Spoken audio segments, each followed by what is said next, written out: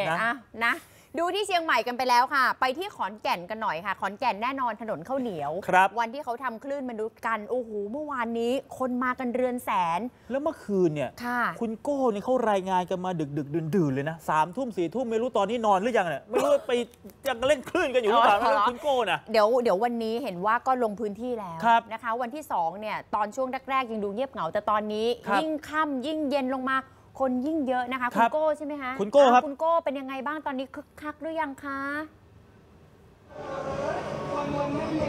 ครับคืนวันแรกเล่นดึกไปหน่อยประกอบกับความร้อนแรงของแสงแดดครับทำให้วันนี้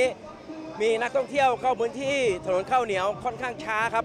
แต่คาดว่าตกค่ำก็จะคึกคักไม่ต่างจากเมื่อวานครับ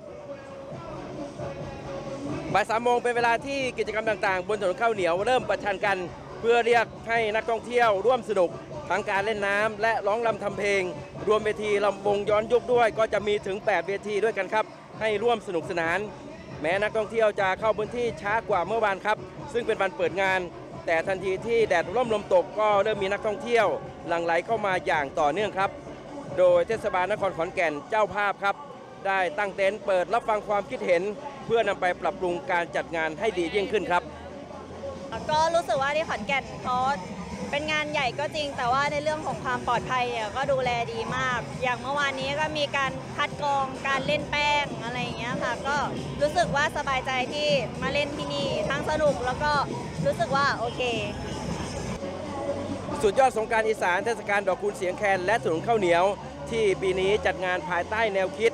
ศาสตร์ซิ่งศาสตร์ศิลป์ไม่ได้คิดถึงแต่คนหนุ่มสาวครับ จึงยังคงเวทีลำวงย้อนยุค ให้คนเฒ่าคนแก่ได้ร่วมสนุกเช่นเคยครับ ขณะที่ตามลำคลองชลประทานในพื้นที่ตำบลศิลาอำเภอเมืองขอนแก่น ซึ่งเป็นทางเลือกให้ประชาชนหรือนักท่องเที่ยว ที่ไม่อยากเข้ามาแออัดกับคลื่นมหาชนคนเล่นน้ำสงกรานใช้เป็นที่พักผ่อนหย่อนใจเล่นน้ำคลายร้อน ซึ่งบรรยากาศจะคึกคักในช่วงเย็นเช่นเดียวกันครับ บางส่วนก็ขอสนุกแบบชิคๆครับตามสไตล์ชนบทอีสาน นั่นก็คือลงจับปลาตามหนองน้ำแล้วนำขึ้นมาปิ้งริมหนองน้ำกินกันแซ่บๆครับ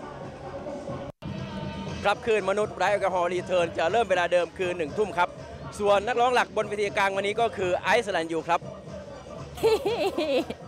ขอบคุณคุณโก้นะครับ คุณโก้ธินกรวีรพลศิลป์นะดิครับ ฉันส่ง I love you ให้เลย สุดยอดเลยอะคือน้ำน้ำยังไม่มีเล่น แต่ว่าก็ไปจับปลาให้พวกเราด้วย กำลังจะบอกสุดยว่าอด คุณโก้ธินกรเนี่ยมาหลายมิติมาก สุดยอดเลย มาทั้งแนวคนนะคะคนเออ ยังอาน้อย ครับ เอาปลามาให้ดู เอาปลามาให้ดู จับปลาก่อน จับปลาก่อน